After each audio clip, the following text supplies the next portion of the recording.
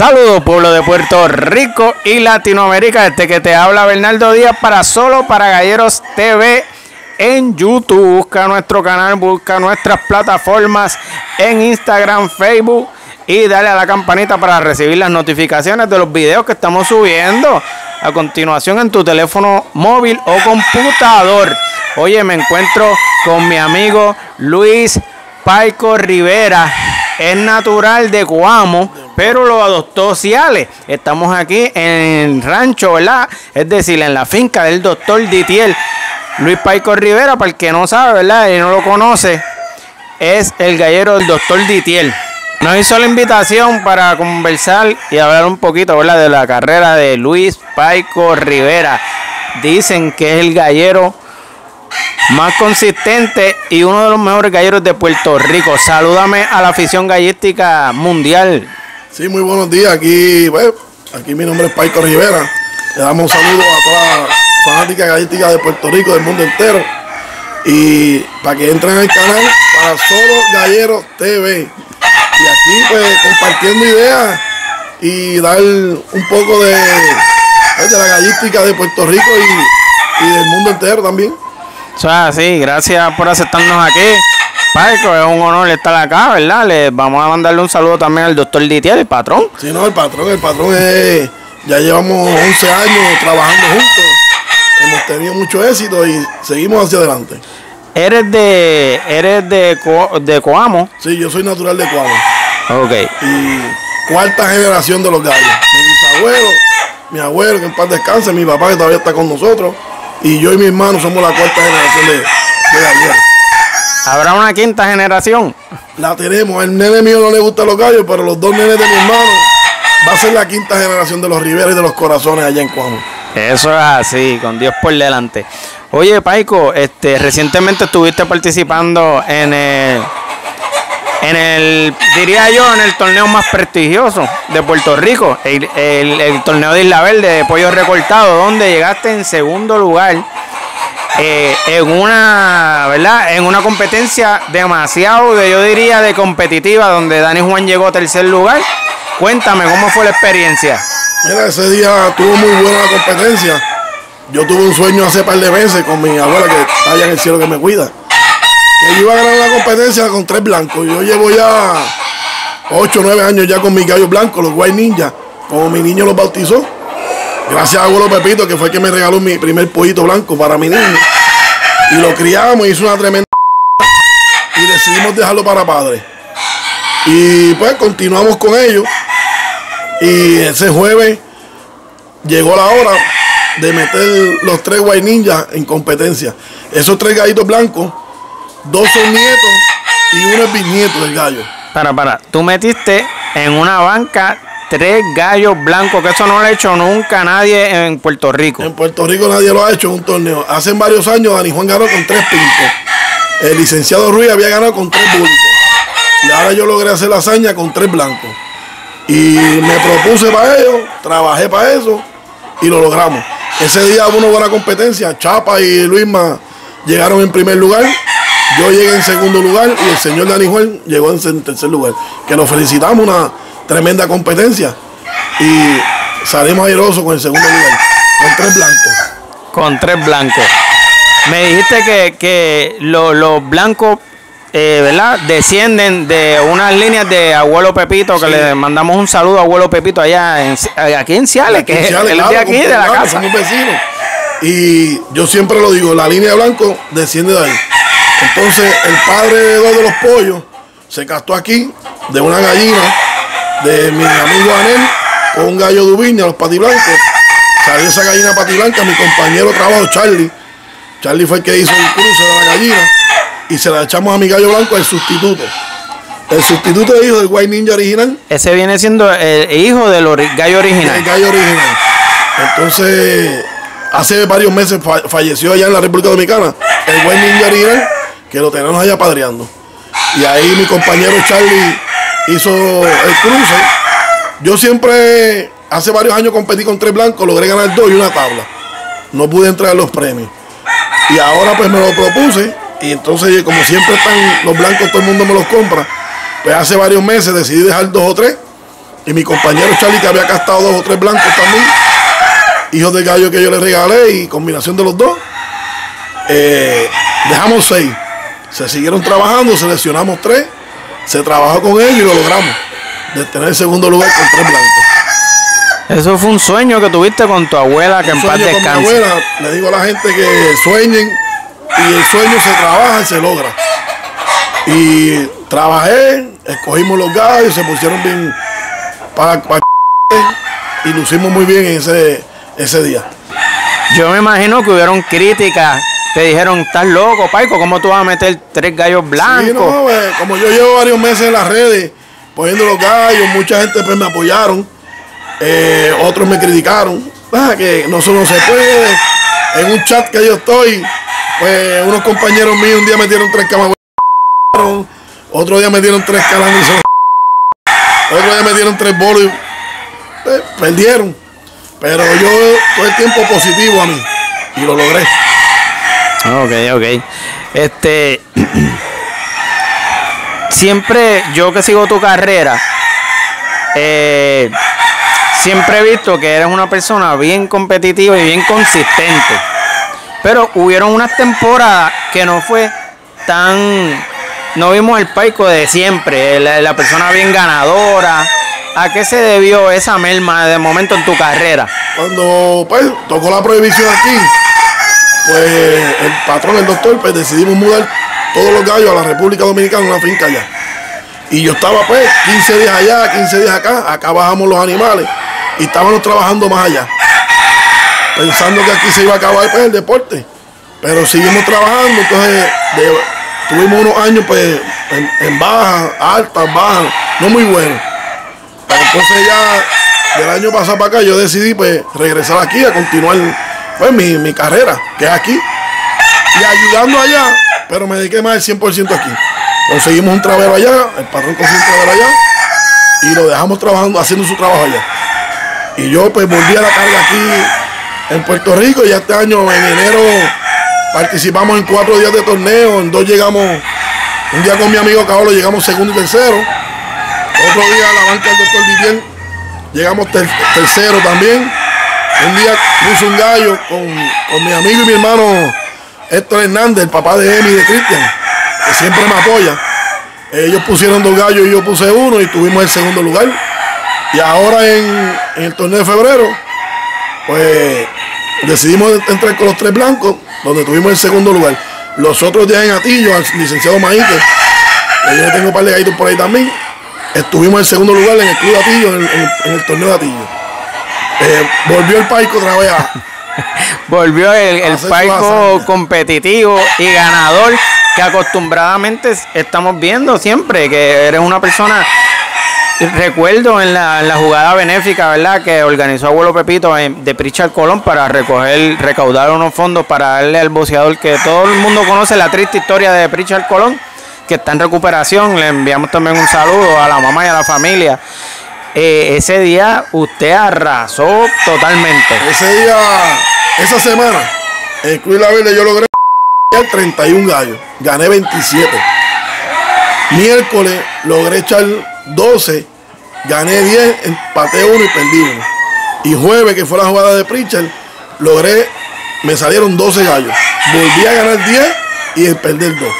¿Sabes? Una hazaña de dos días corridos, ganar 10 gallos consecutivos en La Verde no es fácil. Bueno, me pusieron el MVP. MVP. De ese hecho, eso, a eso quería llegar. Te pusieron el MVP. Ese es el, el, el, el- ¿verdad? Eh, Siempre te han dicho Paico, pero de, un, de unos años para acá, el MVP. gracias a Dios, pues seguimos trabajando fuertemente y, y exhorto a todas esas jóvenes que, que están entrando en la gallística que, que nunca miren hacia atrás, sigan enfocados en, su trabajo, van a ver sus altas y sus bajas, como yo. A mí hay días que me lo ensayo con las fundas vacías. Cuando me pega un gallo mal o se va corriendo, también lo pongo porque esto hay que ser realista como es. Cuando ganamos celebramos, cuando perdemos felicitamos al contrario y cuando nos va bien, ahí estamos. Eso ahí te me adelantaste en esa pregunta. Eh, eso te iba a decir. Yo creo que uno de los, los el único gallero, entiendo yo en redes sociales hablando, que pone cuando pierde. Uno de ellos eres tú. Sí, porque es que este bizcocho es grande y todo el mundo quiere vender sus animales, venderse como persona. Eso es muy bueno. Pero yo entiendo que la persona que es consciente, que sabe de gallo, que va a comprar un gallo, sabe que todos los galleros ganamos, perdemos y entablamos. Entonces tú ves algunas personas que solamente mueven los que ganan, pues, o sea, le respetamos su, su forma, ¿verdad? Pero yo no soy así, yo tengo que ser yo. Si era uno mal, puse si se me corre uno, se me corrió, buscamos en el libro lo que falló y seguimos adelante. Y cuando ganamos, con mucha ¿sabes? satisfacción, ganamos y celebramos. ¿Sabes? Consistentemente, pues, me gusta ser yo. No me gusta, digo todo el tiempo como es. Real, real todo el tiempo. los galleros, oye, estos ganan, pierden en tabla. Si fuera a ganar nada más, uno estuviese rico. ¿Y qué tú crees si mostramos los animales que ganaron el torneo, la descendencia de los blancos, para que el público los vea? Vamos, vamos a pausar y vamos a regresar con los animales, ¿verdad? Con, los, con las aves blancas que se llaman los White Ninja de Luis Paico Rivera. Pausamos y regresamos en breve. Bueno muchachos, estamos aquí de vuelta con Luis Paico Rivera. Aquí nos está mostrando uno, ¿verdad? De los que se exhibió, de los que en la competencia, ¿verdad? En ese torneo tan prestigioso de Isla Verde, donde llegó segundo lugar. Oye, preséntale ese gallo a los fanáticos acá que nos están viendo. Pues mira, Bernardo, aquí tenemos en la jaula, este fue el del Ese hijo de. Ese es nieto del gallo. Hijo del gallo de mi amigo Charlie, que, mi compañero que yo le regalé. Ese fue el, primer que que contra el doctor Aponte Rodríguez. Hizo su exhibición, donde un tremendo competidor. Y salimos, pues, ganó en dos minutos. Logró salir victorioso en dos minutos y pico. Ese fue el del primer Se fue el el que está en la jaula, mi gente. Mírenlo ahí, el que está en la jaula, el del bate. Un ave que se ve su físico. A pesar de que un gallo blanco, es un, un gallo fuerte, se ve un gallo alto para el peso. Y bien en salud. Como le gusta a Paico. Sí, mira, todos los gallos se seleccionaron, eh, se criaron, se han seguido trabajando porque los blancos antes eran gallos, gallos más bajitos. Se han seguido levantando, buscándole cualidades, año tras año. Ya llevamos nueve, ocho, nueve años con ellos, pues se ha seguido buscando las cualidades que le faltaban y lo logramos. Este fue el segundo blanco del segundo, de segunda exhibición Ajá. donde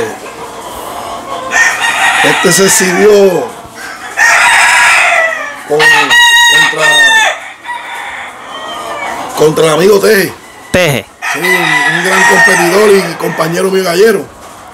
Y tuvo que una tremenda competencia y tremendo combate y en los tres minutos ya salió airoso y, y mira cómo lo Salió sano, salió sano.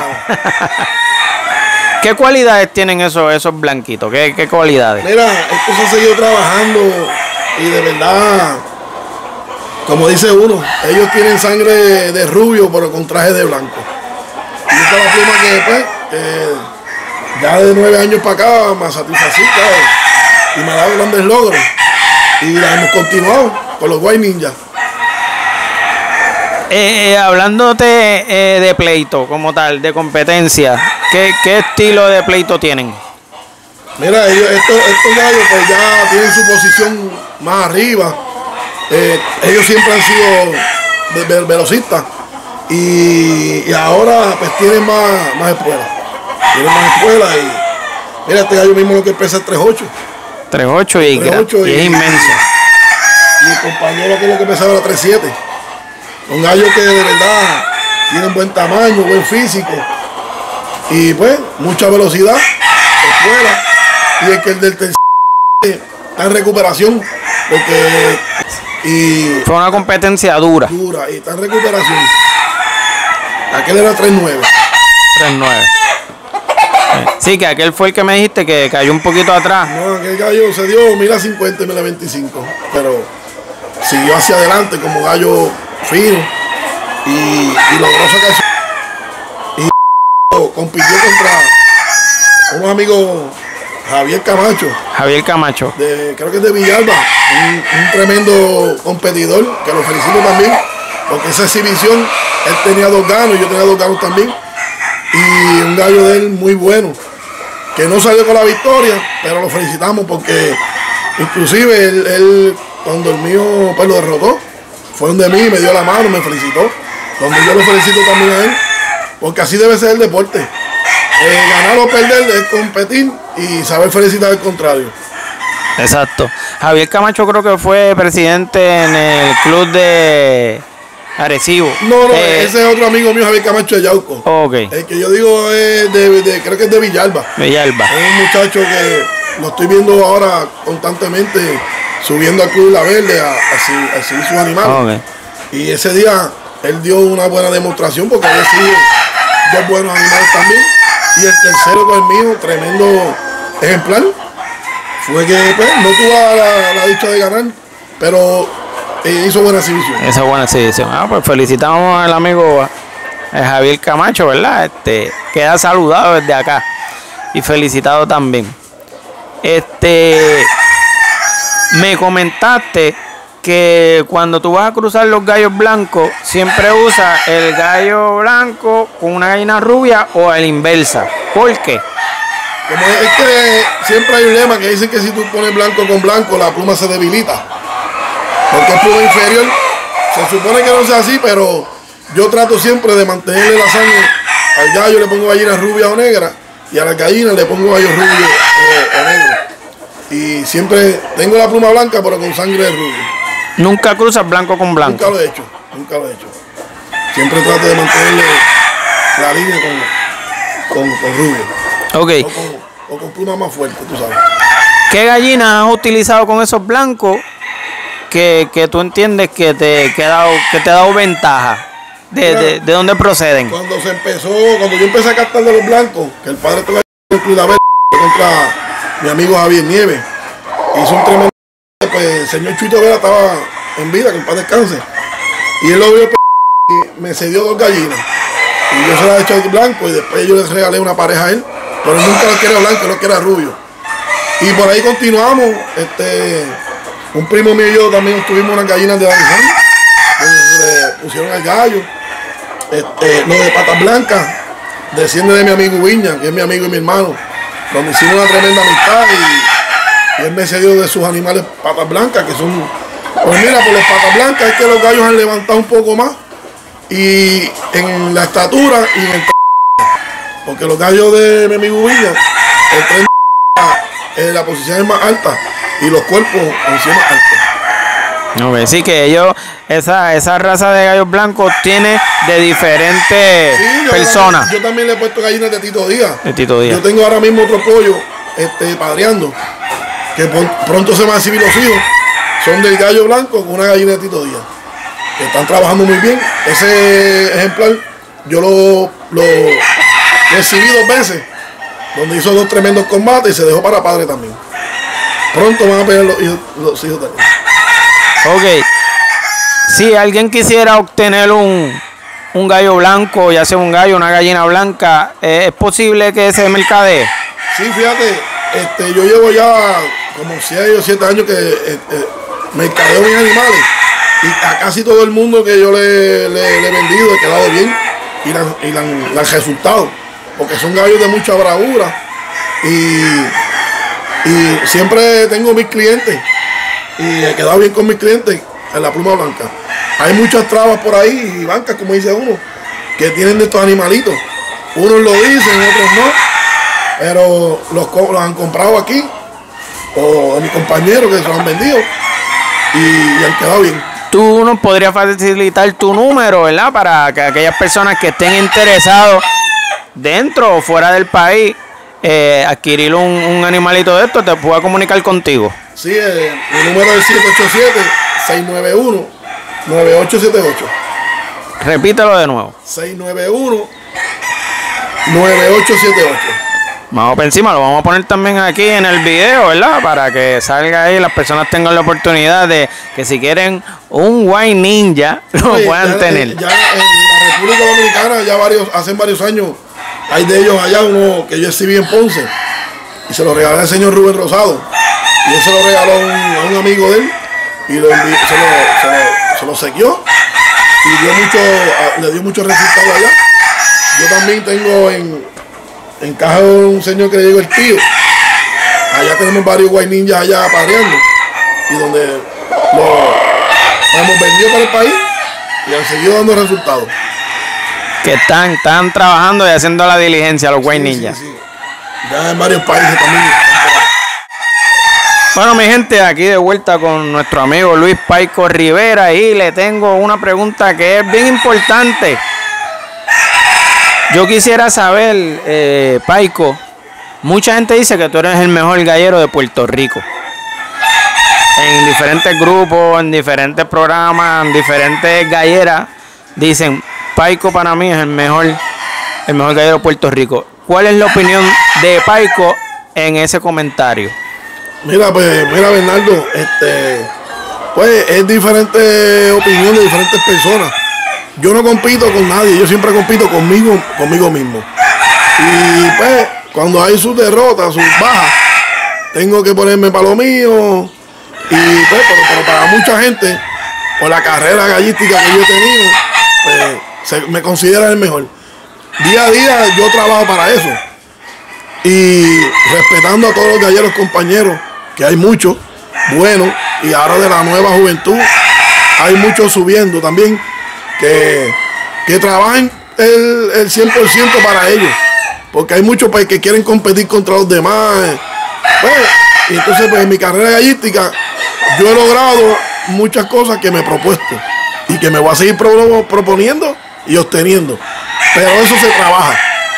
Y pues, mucha, pues muchos amigos fanáticos dicen que soy el mejor. Para mí yo me considero el mejor. Porque yo trabajo y he obtenido los logros que he querido trabajar. Y le exhorto a todos los compañeros galleros que trabajen por, por sus logros y que cada cual sea el mejor y logre todo su éxito. Me habían mencionado también que, que tú respetas mucho eh, lo que es el Tito Díaz por su trayectoria. Me habían mencionado fuera de cámara, que, eh, que él tiene una, trayectoria larga y tú lo respetas mucho. Sí, pues claro, porque mire, el señor Tito Díaz, eh, él fue gallero, como yo. Él fue gallero, él fue gallero de Rubén Rosado, de muchas personas en el Coliseo. Él mismo le agradece al señor Rubén Rosado que, que, que, que lo ayuda a ser socio. Entonces, pues todo empezaba como uno, uno empieza de abajo. Él empezó siendo gallero, dueño de sus gallos, y actualmente es uno de los mejores socios de Club La Verde. Como también respeto a mi hermano Daniel Rodríguez, que ese es como mi papá también, porque ese viejo conmigo nunca tiene un no para mí. Cuando yo necesito gallos de él, el señor Rafael Hernández, que muchas veces también que es el presidente del El presidente actual, sí.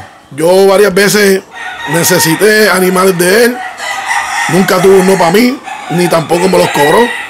El señor Daniel Rodríguez ni te digo, lo que yo quiera de los de él, ahí está. Y Vestido Díaz es un ejemplo a seguir porque él empezó como gallero, desde abajo hasta ser dueño y socio del Club La Verde de sus gallos. Es una trayectoria que yo entiendo que muchos galleros debemos seguir. Porque él ha tenido sus altas, sus bajas. Y actualmente es uno de los mejores castadores.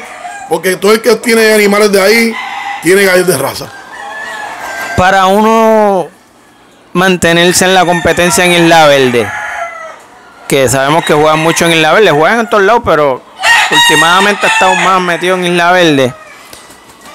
¿Qué uno tiene que hacer para mantener ese nivel competitivo? Pues mira, en Isla Verde no es fácil.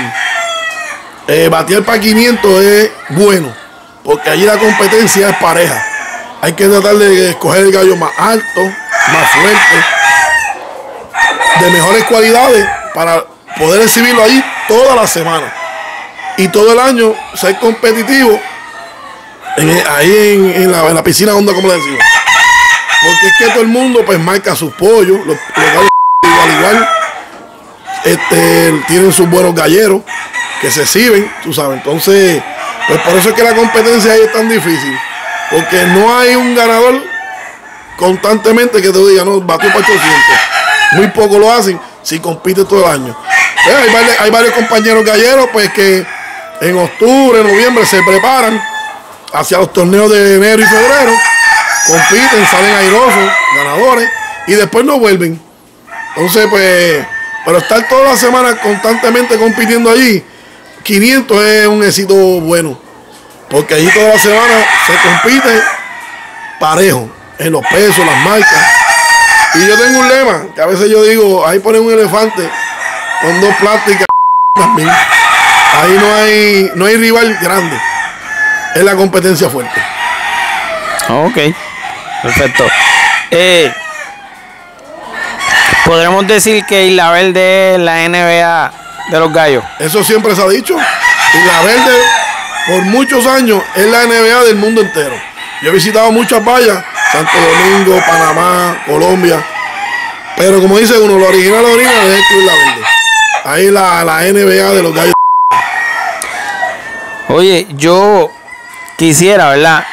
Considerando que yo te considero también uno de los mejores galleros de Puerto Rico, que tú nos explicaras más o menos cómo es que tú desde, desde que empiezan los escastes hasta que llega a la exhibición, ¿cuál es tu, tu metodología en, en, ese, en ese renglón? Pues mira, los encastes uno debe trabajarlo, porque cualquier persona le echa un gallo a una gallina y saca tres pollos y se salieron campeones. Y te llega a un torneo y puedes ganar.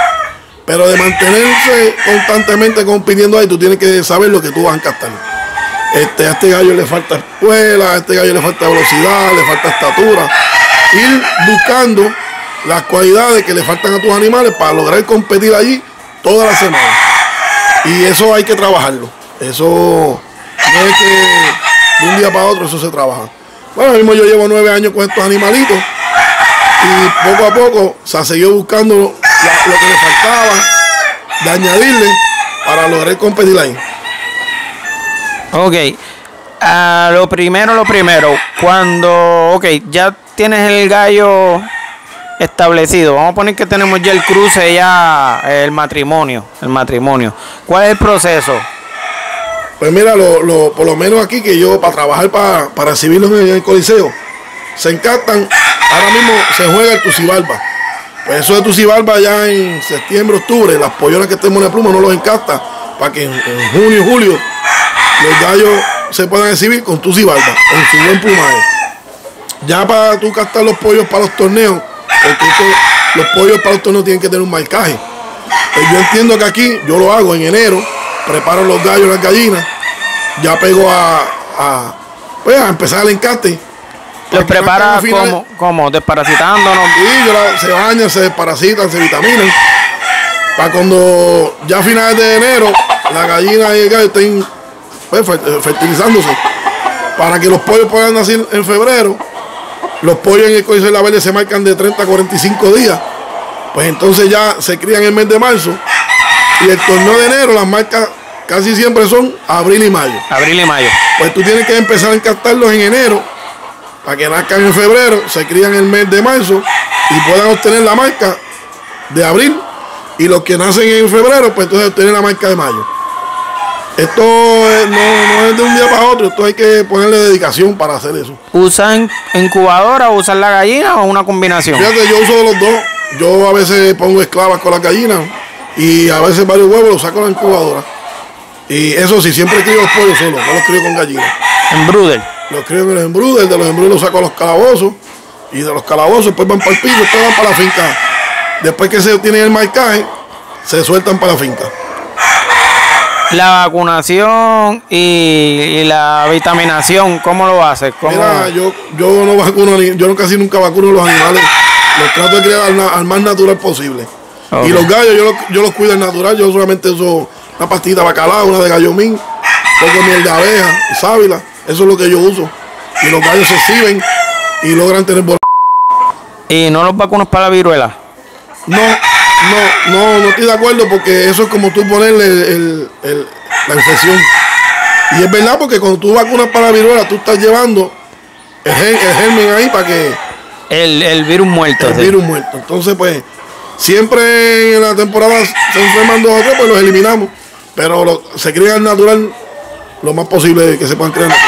Porque por lo regular cuando pegan a, a combatir entre ellos, llega un tiempo como el mes, mes y medio que pegan a combatir entre ellos los machos, pues entonces por la sangre pues trae el mosquito y por ende Eh, viene uno la viruela. un poco de limón, y la vega, como dice uno, y, y varios productos que vienen en crema, y unos se curan, otros.